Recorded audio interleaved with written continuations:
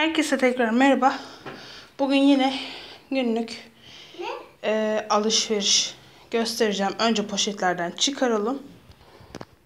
Evet arkadaşlar aldıklarımı göstereceğim. Aynı şeyler genelde aldıklarım. E, ekmekçik markanın tost ekmeğinden aldım. Çok güzel, lezzetli. Şu Jackie'nin e, Bim meyve sularının büyük boyundan aldım. Karışık portakallar ve limonlu diyor.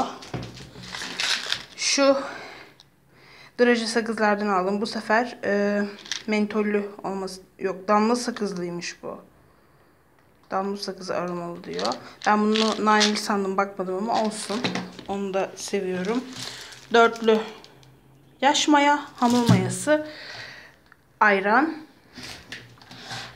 yoğurt. Bu ne? yoğurt Puding. Evet. Kim kime aldık bunu? Halamla birlikte bir şey gittik on- ondan Bime aldık. gittik aldık evet ablaları. Şöyle üçlü sakız bu benim için. Bu Nazlı için ve burada daha bir torba Nazlı için Nazlı'nın aldıkları var. Süt iki paket. Bu suyum.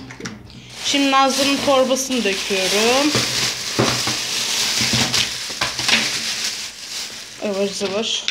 Diş fırçası aldı benim aşkım. Benim aşkım 4 yaşına daha girmedi sayılır yani 3 yaşını yeni bitiriyor. Diş fırçası aldık ilk defa ona bir hani böyle macunsuz alışsın diye. Jelibon aldık. Şu gofretlerden aldık. Bunun birini kendime aldım. birini Nazlı'ya bu da eşime. Şu karamel Ledido. Çubuk kraker. X L diyor. 9 tane varmış. Şu küçüklüğümüzde yediğimiz şeylerden. Bir de şunu aldım. Ben bunu seviyorum. Ee, Hindistan cevizli. Dolgulu sütlü. Bekle ablacığım. Ay ablacığım diyorum halacığım. Bunları aldık arkadaşlar bugün. Pek bir şey yok. Genelde aldıklarım aynı tarz şeyler. Ama bilgisayarım bozuk olduğu için bütün alışverişlerimi böyle kısa kısa çekeceğim.